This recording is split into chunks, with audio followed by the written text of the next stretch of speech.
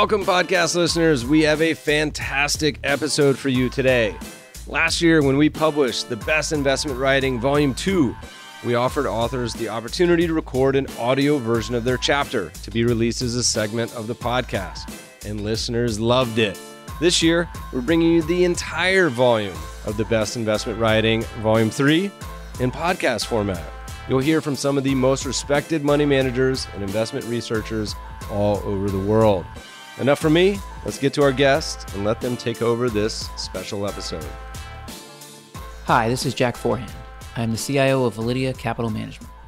You can find out more about us at Validea, V A L I D E A, capital.com. You can find my articles at blog.validea.com. I'm going to read a piece titled The Case Against Value Stocks. This is a piece I wrote in early 2019 as a way to challenge my own thinking about value investing and whether it will continue to work in the future like it has in the past. So here it is my case against value stocks. Confirmation bias is one of the biggest problems in investing. We all have a set of core beliefs, and we tend to surround ourselves with people who also believe them and focus on information that validates them. For me, one of those things is that value stocks will beat the market over time. There is no shortage of data to support value.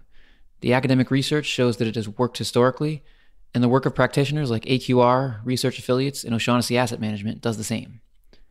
But there is a danger in following only the people and data who support what you believe. It can blind you to the other side of the argument, especially when your beliefs are strongly held. And there is almost always another side. As a supporter of value investing, it serves no purpose for me to pretend that the other side doesn't exist.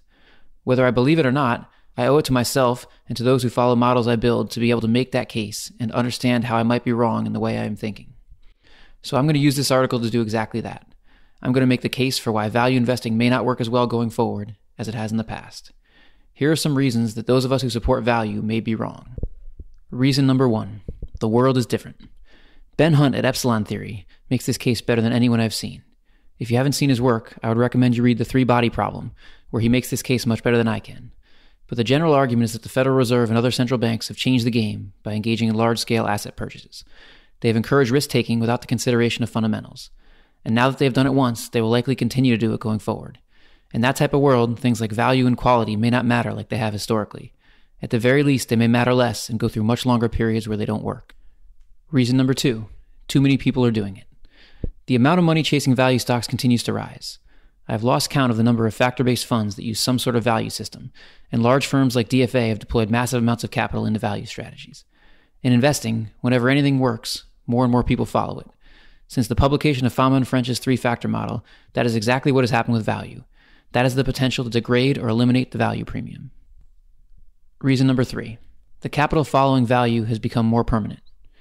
It is counterintuitive in some ways to think like this, but followers of value strategies want other value investors to panic during periods of underperformance. That bad behavior is in part what makes it work. Permanent followers of the strategy who won't panic no matter how long it underperforms can reduce its effectiveness over time. And as more investors become educated about the negative effects of their behavior, it is possible they will stick out the downturns more. The anonymous Twitter user Modest Proposal made this point in his podcast interview with Patrick O'Shaughnessy. If he is right, that is bad for value. Reason number four big data and rising computing power are leading to more value traps. The more data that is available and the faster it can be processed, the more efficient the market should become. That could mean that more cheap stocks are cheap for a reason. It could also mean that using historical fundamental information to predict the future will be harder. Let me give you a simple example. Say my value strategy really likes Walmart because it trades at a discount to the market based on a composite of metrics.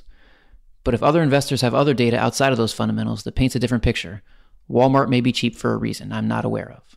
For example, they might have satellite images of Walmart parking lots across the country indicating that customer flow is down.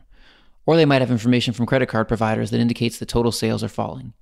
Either of those could lead to a situation where the historical fundamentals I'm using don't paint a clear picture of reality, and more cheap stocks can end up being value traps. Reason number five value is a bet against technology. Unconstrained value strategies tend to make implicit sector bets over time. This can vary based on which value metric you use, but all of them tend to underweight technology. If you break down the underperformance of value over the past decade, you will see that one of the major reasons for it is that it had more significant weights in the market in sectors that have done poorly, like financials, and below average weights in the technology sector, which has been the best performer. This isn't necessarily a long term negative because it can work both ways. If you owned value strategies in 2000, you were probably pretty happy they didn't own technology stocks. But if you were a big believer that tech will drive the market going forward, That isn't a good sign for value. It is also important to note that this issue can be addressed by following a sector neutral value approach that keeps its sector weights close to the benchmark. But if you follow unconstrained value models, this could continue to be a drag on performance. Even if value models are constrained and hold a market weight in technology, they tend to avoid the high growth stocks that have driven much of the sector's performance.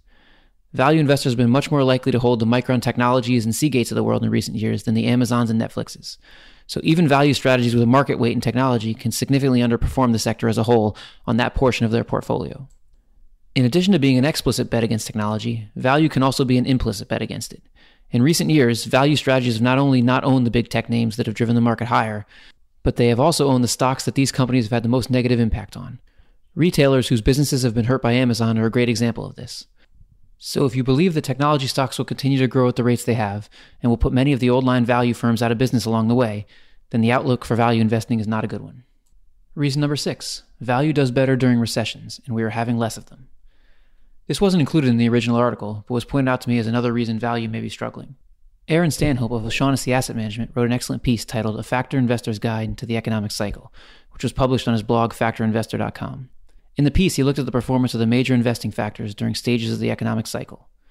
What he found is that if you look at the performance of value stocks throughout the economic cycle, they tend to shine in the periods before, during, and after recessions. They do not typically do as well during economic expansions. In the past few decades, recessions have been less frequent than they have been historically. The result of this is that the economic periods where value does well have also been shorter. If this continues, that may be a bad sign for value investing. So, are we witnessing the death of value? Does all this mean that value investing will never work again? Is its future just filled with buying a bunch of cheap companies and watching them continue to disappoint? I don't think so. Although all these arguments have some validity to them, there are counterarguments to each of them that I think are even more valid. The point of this exercise wasn't to suggest that value investing is dead. The point was to show that there is another side of the argument. And that is true of almost anything in investing. It is true of investing in high momentum stocks. It is true of buying high quality companies. It is even true of buying index funds. No matter what style of investing you use, it is very easy to get caught up in a feedback loop that does nothing but support it. But by doing that, you lose the ability to question yourself. You lose the ability to figure out how you might be wrong. Whatever strategy you are following, you should ask yourself whether you can do what I did here. You should consider whether you've looked at the other side. Whether you end up agreeing with it or not, the practice will make you a better investor.